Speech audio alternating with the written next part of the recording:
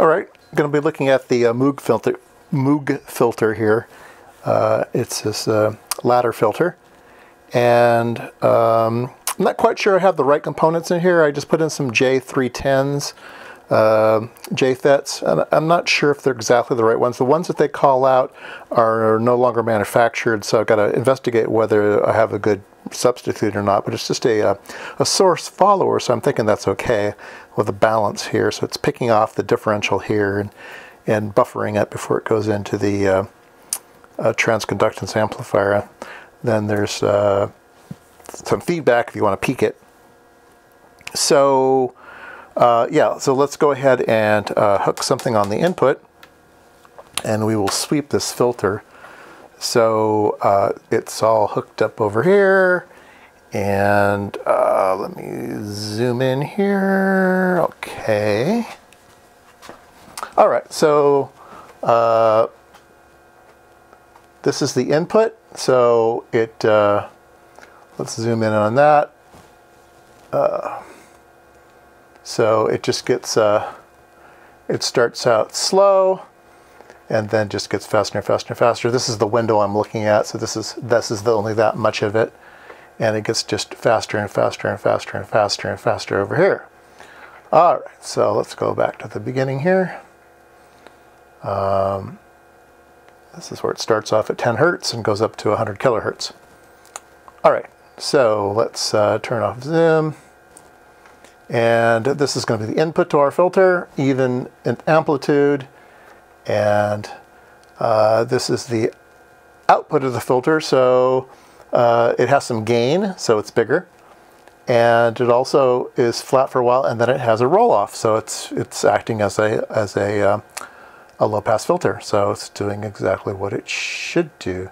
Now, uh, if I change the um, if I change the current in the long tail pair here, I've changed the current here. So this resistor is going to be going to minus, uh, minus 15 volts with the resistor, and that will set a current here in the, uh, in the filter. And I'm going to use this decade box here to set that, uh, set that current. All right, so I'll go back up to our display here.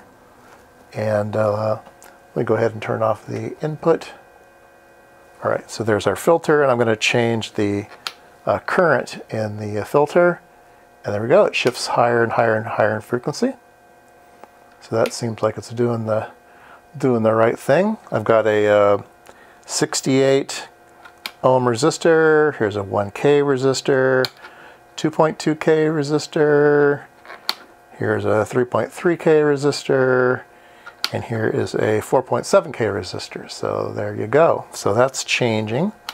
So I like the way that looks. Now, the thing that I don't like the way it looks is if you start zooming in on this. So let's turn the input back on so we can see these both at the same time, input and output. And let's zoom in on this and uh, let's see if I can zoom way in. You can see the input is a nice sine wave, but the output is way distorted.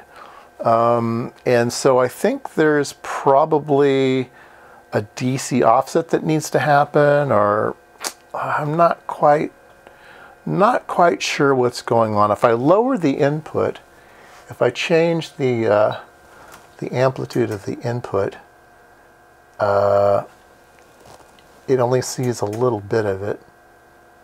Okay, so you say, oh, well, just put in more. So if I put in a whole bunch more, it just kind of goes, ah, it just goes, it just goes nuts. Uh, so yeah, I still need to figure out how this filter is supposed to work, but uh, it's doing something. It's changing. It's changing its bandpass with current, so that's a good thing.